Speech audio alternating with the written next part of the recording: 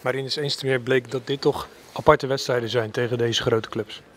Ja, uiteindelijk is het uh, boven ons macht. Maatje te groot. Uh, je stelt veel behoorlijk.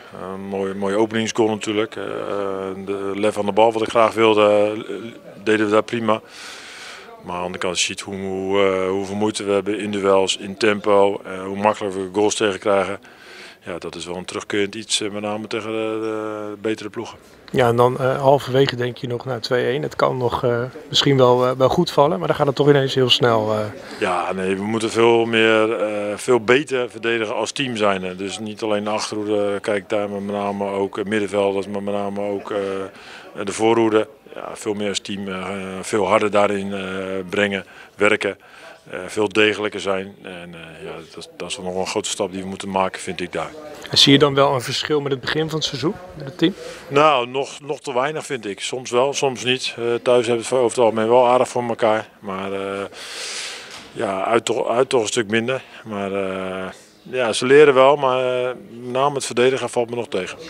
Ja, en dan ben je ja, soort van halverwege, niet helemaal. Kun je, kun je een balans opmaken van hoe we, hoe we ervoor staan? Ja, we staan op een positie waar we willen eindigen. Dus dat biedt heel veel perspectief. Dus dat is, uh, vind ik best knap van gezien waar we vandaan komen. Dus dat is, uh, dat, is mooi. Uh, ik zie individuele ontwikkeling bij met name een aantal jonge spelers, maar ook Stijn van Gassel. ja, waar, wat, wat tegenvalt vind ik in zelf seizoen is, is jongens die zijn gekomen. Je ziet ook vandaag een opstelling. Ja, bijna alles jongens spelen niet, of blessures of gewoon op de bank. Ja, en, en dat is één kant verklaarbaar, omdat veel jongens laat binnengekomen zijn. Uh, vorig jaar weinig gespeeld, of, of zoals je ziet, de laatste drie jaar niet veel gespeeld.